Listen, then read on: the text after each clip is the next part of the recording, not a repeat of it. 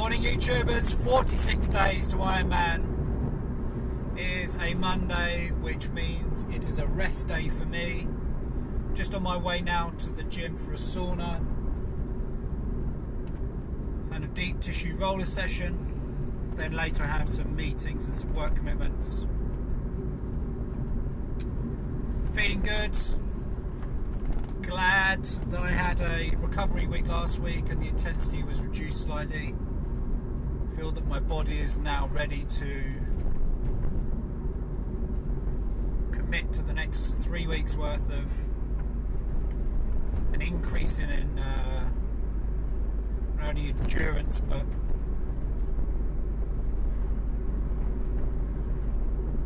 food alterations, enhancements and improvements.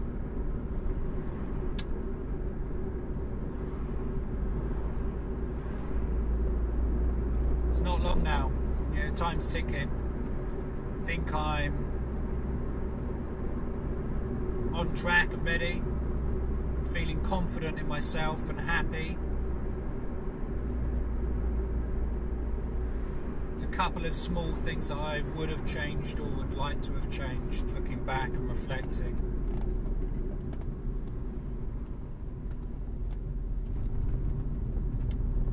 But certainly learn a lot more about what I can achieve, what is possible for me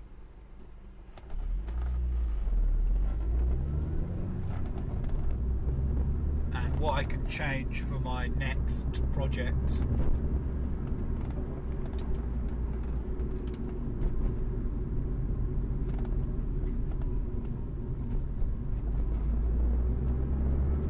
Having a Facebook conversation with someone that I know just this morning.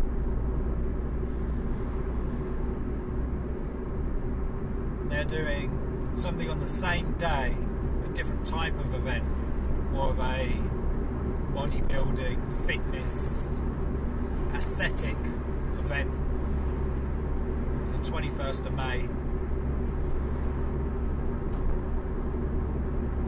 And she was saying about how she wanted to, or was looking for the next thing.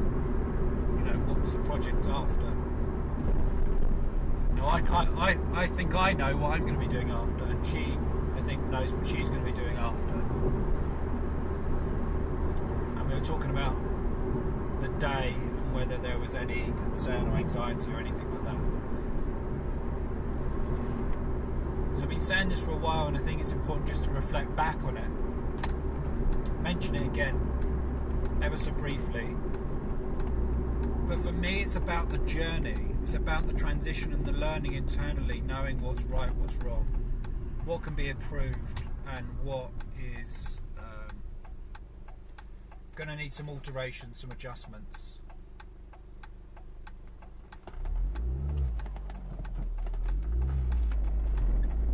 You know, the main day, the race, the event very important, don't get me wrong. It's key, in fact. It's something that, you know, you're working towards.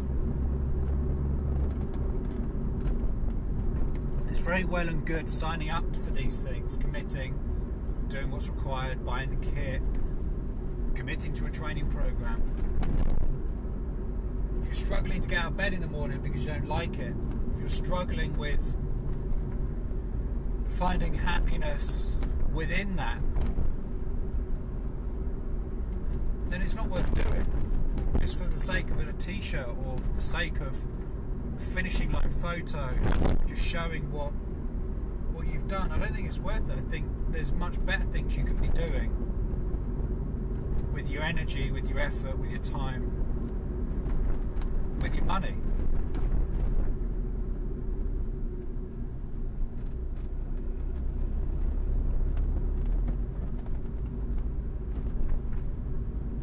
It has to be 90% of the effort or the overall energy spent has to be in the journey. The completion is finishing that line or finishing within the time or whatever the goal is set. But ultimately, it's got to be about the journey. Every day you've got to wake up, you've got to endure that session If you're training around a career or a job, a nine to five job, and you know, getting up at 4:30, 5 o'clock to be at the pool training for two hours, then to go and work a day, then to get home and sit on the turbo for an hour it takes a hell of a lot of commitment. If you're not enjoying it, ask yourself why you're doing it. I can honestly say that every day so far I've enjoyed at least one thing. And the positives throughout my whole journey so far have completely outweighed any negative that has reared its head. It's not been easy, you know, don't get me wrong. It's not been easy, don't you know this this is a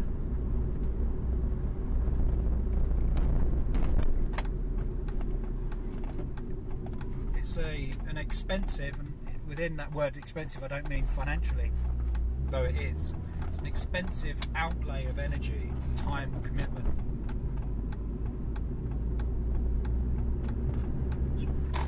Is it worth it? Right now in the present answering that 100% it's worth it. And the reason it's worth it is because of the internal learnings and the learnings that I've had about what is possible for me. That's why it's worth it.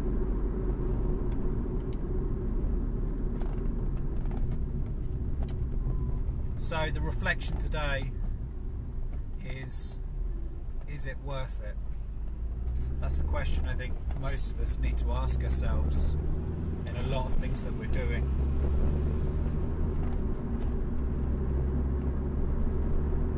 Not only in sporting activities, but in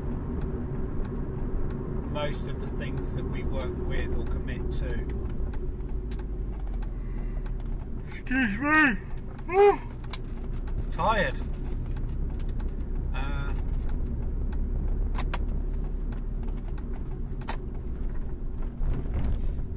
yeah, so that's it for now.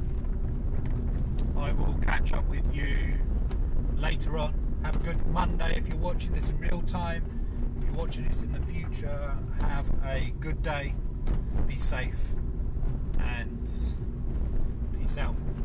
Day four of my urinalysis test, and today I've not done any exercise and just kept my hydration levels what I would normally have or consume and it's shown really because my hydration levels are well I'm mildly dehydrated everything else is fine uh, my bilirubin is negative glucose negative my ketones is negative no blood in the urine um, it's later in the day and I'm yet to eat so my pH levels are as what I would expect uh, for this time of the day uh, and then my protein and all of those above are perfectly fine. So just about to eat now, I'd expect the pH levels to adjust accordingly uh, because of that.